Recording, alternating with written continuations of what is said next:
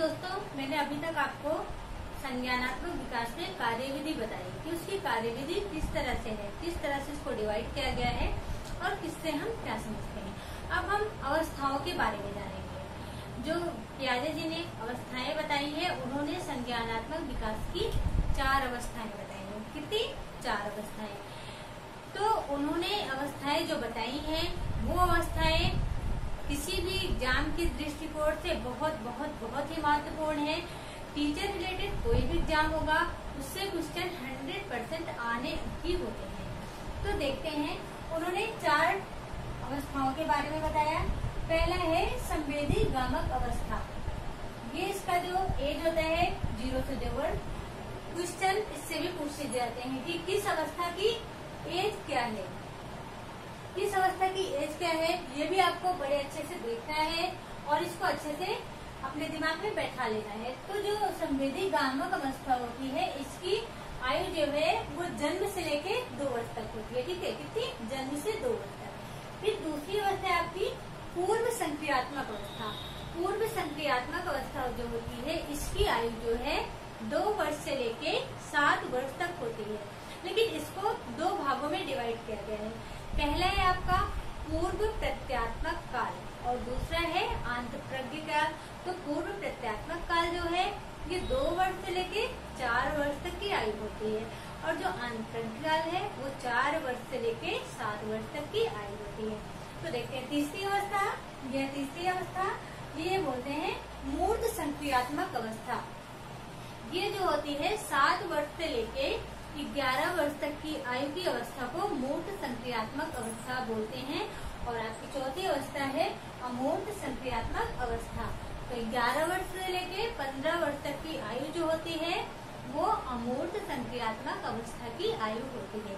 तो हम अब एक एक को आराम से समझेंगे किन अवस्थाओं में क्या होता है।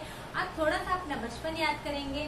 तो आई होप ये आपको समझने में बहुत ही आसानी होगी। ये अपने आसपास अगर आपके घर में कोई बच्चा है, उसको देखिए, उसको समझिए, वो किस आयु में क्या कर रहा है। इन सब चीज़ों को कोरिलेट करके आप इसको समझेंगे। तो 50 परसेंट से ज़्यादा बातें तो आप अपने घर से ही सीख जाएँगे। और बाकी के 50 परसेंट मैं आपको यहाँ बता देती हूँ। तो पहला आपका जो है संवेदी गामक अवस्था। संवेदी गामक अवस्था को बोलते हैं सेंसरी मोटर स्टेज तो इसमें क्या होता है सेंस मतलब सेंस लगाना संवेदी मतलब मूल प्रवृत्तियों के माध्यम से सीखना। इस, अवस्था में बच्चे जो हमारी ज्ञानेन्द्रिया होती है और जो हमारी कर्मेंद्रिया होती है उससे सीखते हैं। ज्ञानेन्द्रिया आपने पढ़ा है पाँच ज्ञानेन्द्रिया होती हैं। आँख कान नाक त्वचा और जीवा। और हमारी कर्मेंद्रिया दो होती हैं हाथ शुरू में बोल तो पाते नहीं है। अपने हाव भाव व्यक्त करने के लिए उनको ज्ञानेन्द्रियों की आवश्यकता होती है। जैसे अगर उनके मुँह में कुछ चला गया है तो वो बता नहीं पाएँगे। हम उन मुँह दिखाएँगे अपना। मतलब आ करके ऐसे भी कुछ बताएँगे तो हमें समझ में आएगा। इसमें क्या होता है कि चूसना, कोई चीज़ पकड़ना, ये सब क्रियाएँ इसमें शामिल होते हैं। हाथ पाँव के माध्यम से कोई चीज़ प्रदर्शन करना, खुश होने पे हाथ पैर पटकना बहुत सी चीज़ें होती हैं। आप बच्चों को देखेंगे तो बहुत सारी चीज़ें आपके समझ में आएँगी। तो इससे होता है। और क्या होता है कि इस अवस्था में बच्चों का थोड़ा थोड़ा भाषा विकास होने लगता है। बहुत थोड़ा थोड़ा जैसे वो कोई चीज़ होता है, उसको बोलने की कोशिश करने लगते हैं। आप छोटे बच्चे होंगे, देखेंगे कि शुरू में उन्हें बाबा, मामा, पापा, मम्मी छोटी छोटी चीज़ें सिखाई जाती है। तो उनके भाषा का थोड़ा थोड़ा सा विकास तो इस संवेदी गामक अवस्था में होने लगता है। और क्या होता है, इस अवस्था का एक गुण ये भी है कि इस अवस्था में बच्चे प्रकाश के प्रति बहुत सचेत होते हैं। इसका क्या मतलब होता है कि अगर कोई बच्चा है, उसके आँख पे आप कोई लाइट बहुत तेज लाइट या टार्च का प्रकाश डालेंगे तो वो अजीब सा बहुत चौंक जाते हैं। तो वो क्या होते हैं, प्रकाश के प्रति सचेत होते हैं। और इस अवस्था का एक सबसे इम्पोर्टेंट बात यह है कि जो बहुत सारे एग्ज़ाम में पूछा गया है कि वस्तु स्थायित्व का गुण किस अवस्था में बच्चों के अंदर आ जाता है। तो वस्तु स्थायित्व का गुण जो है, बच्चों के अंदर संवेदी गामक अवस्था में ही आता है। मतलब क्या होता है कि वस्तु स्थायित्व का मतलब क्या हुआ? अगर हमने बच्चों को कोई चीज़ दिखाया, आजकल के बच्चे मोबाइल के बहुत शौकीन है, बच्चों को मोबाइल दिखाया तो वो कहीं ना कहीं उनके दिमाग में अस्थायी हो गया है। अब वो दोबारा से उसमें कोई चीज़ मोबाइल देखेंगे तो वो उनके दिमाग में वस्तु स्थायित्व तो है तो वो मोबाइल को लेने की कोशिश करेंगे, उसे पकड़ने की कोशिश करेंगे तो ये है वस्तु स्थायित्व। संवेदी गामक अवस्था में एक वर्ड पूछा जाता है, स्कीमा। स्कीमा। स्कीमा क्या होता है? ये डायरेक्ट क्वेश्चन भी पूछा गया है। अभी लास्ट ईयर टेस्ट के पेपर में सीधे सीधे पूछा गया था कि स्कीमा का संबंध किससे है? उसमें कई चीज़ें दिए गए थे, ज्ञान से, बोध से, स्मृति से, चिंतन से। तो स्कीमा का जो संबंध होता है, वो ज्ञान से होता है। मतलब क्या होता है कि बच्चों के दिमाग में जो बौद्धिक क्रियाएँ, क्रियाओं के माध्यम से जो जानकारी, जो ज्ञान प्रस्फुटित होता है, उसी को स्कीमा बोलते हैं। स्कीमा इसको आप ध्यान रखिएगा, बिल्कुल नहीं भूलिएगा, क्योंकि ये जो है बहुत इम्पोर्टेंट है। ठीक? अब हम चलते हैं दूसरी स्टेज की तरफ़, जिसको बोलते हैं पूर्व संक्रियात्मक अवस्था प्री कॉन्सेप्चुअल स्टेज ये जो है, दो से सात साल तक की अवस्था होती है। इस अवस्था में बहुत सारी चीज़ें होती हैं। सीखने के लिए ये अवस्था बहुत ही इम्पोर्टेंट होती है। बहुत सारी चीज़ें बच्चे यहाँ से सीखना शुरू करते हैं। तो सबसे पहला क्या गुण है इस अवस्था में कि बच्चे जो हैं खेल खेल के माध्यम से इसमें सीखने लगते हैं। पड़ोसी बच्चों के साथ खेलना शुरू कर देते हैं। फिर उनमें भाषा का विकास होने लगता है।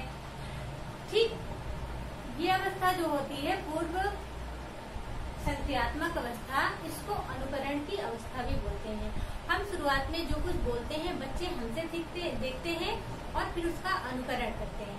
फिर धीरे धीरे वो चीज़ उनके हैबिट में आ जाती है और वो खुद बोलने लगते हैं। जैसे शुरू में हम बच्चों को सिखाते हैं कि एप्पल मीन्स से, बच्चों ने पढ़ा एप्पल मीन्स से छोटे बच्चे हैं, तभी अनुकरण के माध्यम से सीखते हैं। फिर धीरे धीरे वो उस चीज़ को अच्छे से समझ जाते हैं, फिर वो अनुकरण के माध्यम से स्वयं से भी पढ़ने लगते हैं कि एप्पल मीन्स से होता है, ठीक?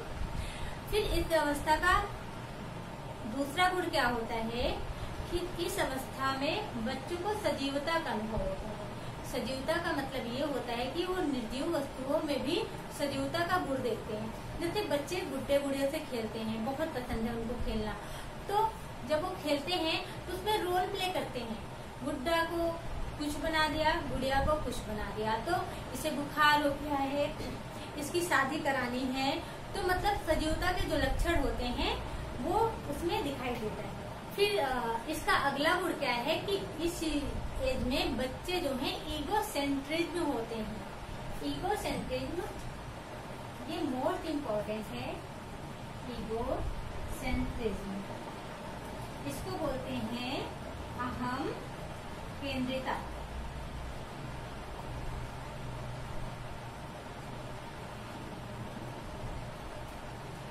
ईगो सेंट्रिज्म का मतलब होता है, बच्चों को लगता है कि ये पूरी दुनिया मेरे इर्द इर्द गिर्द ही है, जो हूँ मैं हूँ।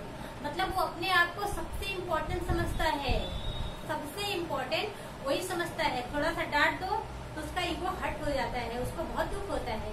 तो ये आयु का, इस आयु का ये भी एक वो है कि इसमें बच्चों के अंदर ईगो सेंट्रिज्म की भावना जो है वो बहुत विकसित होती है। फिर अगला क्या है? अगला होता है कि इस अवस्था में इस अवस्था को ट्वाइस एज बोला गया है। क्या बोला गया है? ट्वाइस एज ट्वाइस एज का मतलब होता है कि ये अवस्था खिलौने की अवस्था बोली गई है। इस अवस्था में अवस्था में बच्चे जो है, खिलौनों के, खिलौनों को बहुत पसंद करते हैं। ये मेरा है। और अगर घर में कभी कोई नाराज़ होता है तो वो ले जाके उसे खिलौना देते हैं। कि जैसे मैं खिलौने से खुश हुआ, इनको भी खिलौना अच्छा लगेगा और ये भी खिलौने से खुश हो जाएँगे। उन्हें लगता है कि जिस तरह से मैं करता हूँ उस तरह से ये भी करेंगे तो इसमें क्या होता है, इसको प्राइजेज बोलते हैं। और इस उम्र की एक सबसे बड़ी विशेषता क्या होती है, कि इसको खेद, खोज की आयु बोलते हैं, तर्क की आयु बोलते हैं। बच्चे जो है, हर चीज़ के बारे में सोचते हैं, खोज करते हैं तो इसको जो है, खोज की आयु भी बोलते हैं। तो ये पूर्व संक्रियात्मक अवस्था, ये आप समझ गए। अब हम अगला देखते हैं, मूर्त संक्रियात्मक अवस्था। मूर्त संक्रियात्मक अवस्था की जो एज होती है, वो सात से ग्यारह वर्ष होती है। पहले तो सबसे इम्पोर्टेंट चीज़, मूर्त से आप समझ गए होंगे कि मूर्त चीज़ों, जो हमें चीज़ें दिख रही हैं। जैसे ये मार्कर मुझे दिख रही है तो मैं इसके बारे में सोच सकती हूँ, ठीक? मुझे मोबाइल दिख रही है, मैं मोबाइल के बारे में सोचू। उसमें जो चीज़ें दिखती रहती है, मूर्त का आशय यही होता है कि विजुअल थिंग्स जिन चीज़ों को हम देख सकते हैं हम उनके बारे में सोचना शुरू कर देते हैं। तो मूर्त चिंतन जो है, आपके पेडोलॉजी सेक्शन में पूछा जाता है कि बच्चों में मूर्त से मूर्त चिंतन कब से शुरू हो जाता है? तो ये जो है, सात से ग्यारह वर्ष की अवस्था में बच्चों में मूर्त चिंतन वो शुरू हो जाता है। वो मूर्त चीज़ों के बारे में सोचने लगते हैं। इस उम्र में बच्चों को जो है, वो आयतन का ज्ञान हो जाता है। जैसे एक किलो रुई रखी गई हो और एक किलो लोहा रखा गया हो तो बच्चे इसमें डिफरेंस कर सकते हैं कि दोनों जो है बराबर है। एक चीज़ मैं आपको बताना भूल गई थी, पूर्व संक्रियात्मक अवस्था में बच्चों को ये डिफरेंस करना नहीं सीख पाते हैं। अगर एक किलो रूही रखी गई है और एक किलो लोहा रखा गया है तो बच्चों को ये लगता है जो चीज़ ज़्यादा है, वो चीज़ ज़्यादा है। मतलब उन्हें रूही जो है वो ज़्यादा लगेगी, भले ही एक किलो हो और लोहा उन्हें कम लगेगा लेकिन इस उम्र में आते आते बच्चे अच्छे से सीख जाते हैं उन्हें अनुपात, समानुपात का ज्ञान हो जाता है। और क्या होता है? उन्हें आरोही अवरोही ज्ञान हो जाता है। वो क्रम को चीज़ें से कम से ज़्यादा और ज़्यादा से कम की ओर लगा लेते हैं। तो ये भी इस अवस्था का एक बहुत ही अच्छा गुण है। और क्या होता है? एक बहुत ही इम्पोर्टेंट क्वेश्चन ये पूछा जाता है कि सबसे ज़्यादा गणतीय संक्रिया, सबसे ज़्यादा गणतीय संक्रिया जो है, वो किस अवस्था में जो जिन प्यारे की चार अवस्थाएँ दी गई है, इनमें से किस अवस्था में सबसे ज़्यादा गणतीय संक्रिया बच्चा करता है? तो आपका यही है। सात से ग्यारह वर्ष की अवस्था जो है, इस अवस्था में बच्चा जो है सबसे ज़्यादा गणतीय संक्रिया करता है। इसी में गणती, गणित से संबंधित जितनी भी बातें होती है, लगभग लगभग वो इसमें सीख जाता है। तो ये उम्र जो है, ये आयु जो है, वो गणित संक्रिया के लिए भी बहुत इम्पोर्टेंट है। और क्या है इस अवस्था की विशेषताएँ। आपने देखा कई चीज़ें, पहले तो इसकी यहाँ से क्वेश्चन पूछेगा तो पहले इसमें आयु पूछता है, फिर पूछता है मूर्त चिंतन कब शुरू होता है तो वो भी आप जान गए। फिर इसमें पूछता है सबसे ज़्यादा गणतीय संक्रिया किसमें होता है तो ये भी एक चीज़ होता है, विलोमिता। क्या होता है? विलोमिता। विलोमिता जो है, विलोमिता का गुण भी जो है, वो में मूर्त संक्रियात्मक अवस्था में बच्चों में आ जाता है। विलोमिता का तात्पर्य होता है, मन ही मन किसी चीज़ के बारे में सोचकर उसके बारे में जान लेना। मतलब हम मन में सोचे कि पृथ्वी गोल है, और हमने मन में उसका सोल्यूशन निकाल लिया कि वो क्यों गोल है।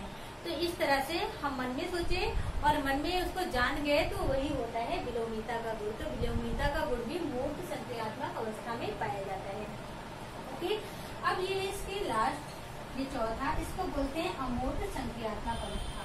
अमूर्त संक्रियात्मक अवस्था जो है, वो ग्यारह वर्ष से लेके पंद्रह वर्ष तक की अवस्था होती है।